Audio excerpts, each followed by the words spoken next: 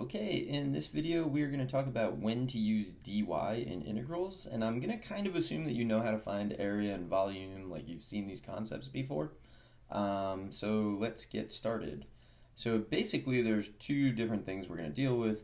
One of them is area. So there's a couple of times you'd want to use dy if um, area is involved. So the first one, you might just be told that you have to do that. So in terms of y, um, something like that. And then the second reason that you might want to use dy instead of dx is if the region is horizontally simple. So you might not be totally familiar with that idea. So what that is, is uh, if we draw our region, and then if horizontal lines pass through the region, and as they pass through the region, the left curve and the right curve never switch, then the region is horizontally simple, and it's actually a little easier if a region is horizontally simple to use dy instead of dx. Um, if you look at that region and you're really familiar with finding area in terms of x, uh, it's going to be difficult, right? Because kind of the left side, the top curve and the bottom curve are the same curve. Um, so you'd have to do uh, probably a lot of algebra before you could even do it. So uh, that's if you're dealing with area. Uh, you might be dealing with volume, and for volume, there's two scenarios. So one, uh, you can use dy if you're rotating around a vertical line. So there's another way to do that, but we're not going to deal with that here. So if we're rotating around a vertical line, um, and that includes the y-axis, which is probably the most common vertical line that you would rotate around. Um, and then the second uh, reason or time you would use dy is if the cross sections are perpendicular to the y-axis. Okay, so those are the times you're going to use dy. Um, and there's a key tip that I will give you. So if you're going to use dy, then everything in your integral needs to be in terms of y. So that means the bounds are going to be in terms of y. So uh, those values, the a and b there in your integral, those have to be y values, not x values. And then the functions that you're dealing with also need to be in terms of y. So they're going to kind of look like x is uh, h of y or some kind of function of y. All right, so now we're going to do uh, three examples, and I'm going to kind of mix using calculator and non-calculator on these. Uh, so the first one, we want to find the area of the quadrant 1 region that's bounded by f of x, which is natural log of x plus 1 and then plus 1, and g of x, which is just 3. So let's sketch this region. So we have this, and then there's g of x, there's f of x, and so this is the region that we're dealing with. And um, so what we want to do is we want to find the area. So if we were going to actually use dx for this, uh, we can set it up, sort of. So I'm going to generally set it up. So it would be the integral from uh, x equals 0 to, I'm just going to say the x coordinate of the intersection point is b, and I would have to go through and solve for that, um, which if you think about it is definitely going to be kind of a weird point. There's going to be an e in there, and it's not going to look too good. Um, and then it's going to be uh, top take away bottom, so g of x minus uh, f of x, which is fine. Um, but then you run into this problem where you're also going to have to integrate uh, f of x, which is the natural log of the quantity x plus 1 and then plus 1. Um, and that would require, if you're doing it by hand, you'd have to use something called integration by parts, which you may or may not know. Um, it's just harder this way. So instead, uh, let's use dy. So to do that, I need to get my bounds in terms of y. I need to get my functions in terms of y. So I'm going to start off with y equals the natural log of the quantity x plus 1 plus 1 and so I have to solve this for x. So I'm going to subtract 1 from both sides. Um, now I have x is inside a natural log, so I need to exponentiate both sides to get x out of that natural log. Um, then I want to ultimately solve for x.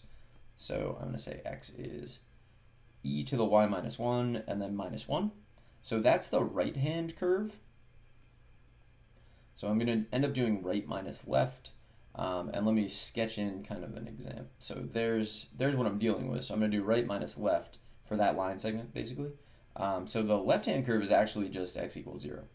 Um, so that's actually a little easier. So that's our left curve. Um, and now I'm going to set up the integral. So the integral is going to be uh, integral from, so the bounds need to be y values. So here you can see the region goes from y equals 1 to y equals 3. So from 1 to 3 and then it's going to be right take away left, so the right curve is e to the y minus 1 minus 1, and then the left-hand curve is pretty nice, it's just 0, and then for this we're doing dy. So at this point what you want to do is you want to check and make sure everything is in terms of y, because if something's not, something's going wrong. Um, but everything is in terms of y here, so I'm actually going to integrate this one by hand. The integral of e to the y minus 1 is just e to the y minus 1. Um, and then the integral of uh, negative 1 is going to be y because we're dealing with dy. And then the bounds are from 1 to 3. When I plug in 3, I get e squared minus 3. And then minus the quantity. I'm going to get e to the 0 and then minus 1. And if you think about it, e to the 0 is 1, so that's 1 minus 1. So those are going to cancel. So the final answer here is just e squared minus 3. And that integral was not bad, and that's a really good example of where you'd want to use dy instead of dx because it just made everything significantly easier. Let's take a look at another one. So we're going to find the volume of the solid form by rotating the quadrant 1 region bounded by f of x is the square root of x minus 1, and g of x is x minus 3. So again, we want to start with a picture. Um, so here is my square root. There's my line. They intersect at the point 5, 2. Um, I'm just going to like jump through how to find that uh, in case you want to see. Uh, you set them equal, you square both sides, you move everything to one side, you factor and solve, and then that x equals 2 is an extraneous solution, so you throw that out. Um, and x equals 5 is the one that you're looking for. So the ordered pair is 5, 2. Um, so what we want to do is we want to use dy for this because we're going around a vertical line. So um, we're going to use dy, kind of a classic setup for this. And so I need to get my functions in terms of y. So I'm going to start with y equals square root of x minus 1. Square both sides and add 1 gives me y squared plus 1 is equal to x. And then my other function is y equals x minus 3. So I'm going to add 3 to both sides and I get x equals y plus 3. So it's usually not super difficult to solve the functions um, for x. Um, and it's something that you just definitely need to do. So here's what we're doing now. Um, we have a big radius and a small radius. And so the big radius involves the y plus 3, and the small radius involves the y squared plus 1. So our integral, it's volume, so it's going to be pi, the integral from, so I need y values now because I'm going to be using dy. So I go from there to there, so the bounds are 0 to 2. And then it's going to be uh, the big radius, which is uh, kind of like a right take away left, so it's the quantity y plus 3 minus 0, but that's just y plus 3 big radius squared, and then minus um, the little radius, which is uh, right take away left again, so y squared plus 1, and then minus 0. So the little radius is y squared plus 1, but I need to square that, and then all of this is dy, so I want to take a second and check and make sure everything is in terms of y, so I didn't screw up. Um, and then I just grabbed a calculator to do this one. So uh, that equals 284 pi over 15. You could definitely do it by hand, it just didn't seem worth it in the video. Uh, let's take a look at one more example. So the region bounded by f of x equals e to the x plus 2 minus 1, and g of x equals uh, the natural log of 3 minus x and then plus 4. Uh, and the x-axis is the base of a solid whose cross-sections perpendicular to the y-axis um, are semicircles, and we want to find the volume. So this, I think, is a problem where you'd be given the graph. Um, but as soon as you see perpendicular to y-axis, you know use dy. Um, so here's the graph I'm going to give you. I'm also going to give you the intersection point because I think those would be provided. Um, so we have this, the exponential is kind of on the left, the natural log is on the right. Uh, the intersection point is given to you. And so what we want to do is we need to uh, switch up our functions, right? Because they're in terms of x right now. So uh, we're going to do that right there is kind of the the that's actually the diameter of the semicircle. So when you're doing a semicircle, uh, it's going to be the pi over 8, the integral of, I call this thing s. So s of y. So it's going to be pi over 8, the integral of s of y squared. Um, and then we need the bounds correct. And I think it's definitely worth memorizing that semicircles are pi over 8 s squared. So let's rewrite our function. So we have y equals e to the x plus 2 minus 1. Add 1 to both sides uh, we got to get that exponent down, so we're going to take natural logs. Natural log y plus 1 is x plus 2. Subtract 2 from both sides. So we get this. And then if you look at the figure, the exponential was on the left, so this is our left curve. And uh, we'll do the same thing for the other curve. So y is natural log of 3 minus x plus 4. Subtract 4 Now, in this case, we need to get the x out of a natural log, so we're going to exponentiate. So e to the y minus 4 is 3 minus x.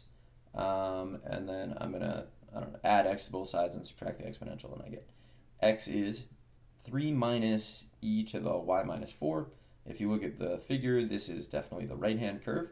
And then s of y, uh, the thing we're trying to find, is going to be right minus left, so that's going to look like this. So what I do is I define that on my calculator, and I'll show you on another slide how that looks. But our integral becomes uh, pi over 8 because that's always there for semicircles. The integral, I need the y bounds in this case, so it's from here to here. So it's going to be 0 to uh, the y coordinate there, which is 5.15761. You want to use as many decimals as you can. In fact, on your calculator, you just want to store that value.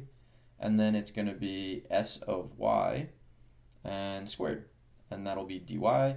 Calculator tells me that's approximately 23.786. And let's take a look at what the calculator looked like. So I had stored s of y. I actually had stored b as the y coordinate of that intersection point, and then I just punched that into my calculator.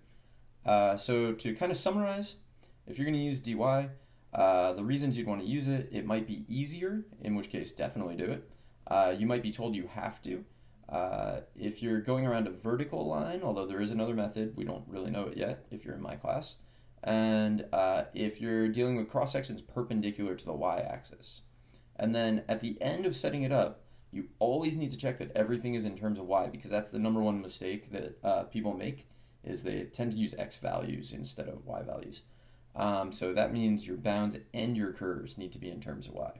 All right, so uh, those are a bunch of examples of when you'd want to use dy in an integral. I hope you found this helpful, and good luck.